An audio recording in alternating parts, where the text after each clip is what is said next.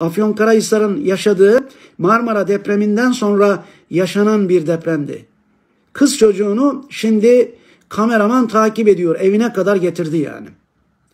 Sabah annesinin üniversite hazırlık kurslarına gönderdiği çocuk eve geldiğinde ne annesi ne babası ne evi yoktu yani.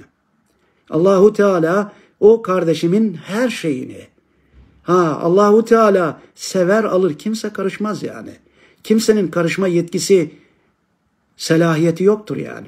Dilediğinde çeker alır yani. Hani cas çavlak kaldı derler ya kameraman da çekiyor yani. Ne ev kalmış ne baba ne anne. Sabah evladını üniversite hazırlık kursuna gönderdiği babası annesi vefat etmiş. Evleri yıkılmış, tarumar olmuş. Afyon Karahisar'dan bir örnek. Bir de büyük depremden örnek vereyim ki benim malım var diyenler. Allahu Teala 45 saniyede her şeyinizi elinizden alır yani.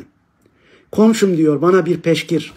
Peşkir yüzünü kurulayacak yani havlu istiyor. Yüzünü kurularken 45 senede kazandığımı 45 saniyede kaybettim diyor.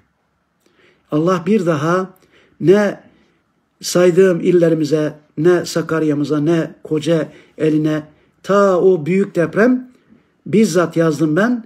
Ankara'dan hissedilmişti. Karakum mahallesinden yazmıştım 17 Ağustos depremini yaşadım diye. Sosyal medyadan kardeşlerimiz internet üzerinden araştırırlarsa benim bu yazımı bulacaklardır yani.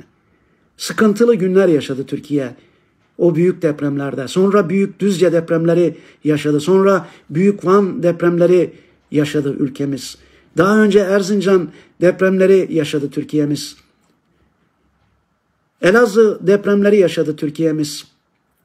Pasinler depremi, Erzurum Pasinler depremi yaşadı Türkiye'miz. Adana Ceyhan depremi yaşadı Türkiye'miz. Ve yine bizim bölgemizde büyük Dinar depremi yaşadı Türkiye'miz.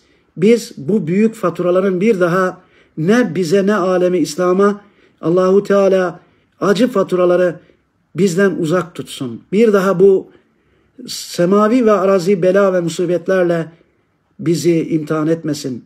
Belimizi doğrultmak yıllar alıyor. Ve yıllar sonra Yalova deprem müzesi yapmışlar. Orada bir yazı dikkatimi çekti. Biz diyor babamızı, annemizi, çoluk çocuğumuzu hepsini denize emanet ettik.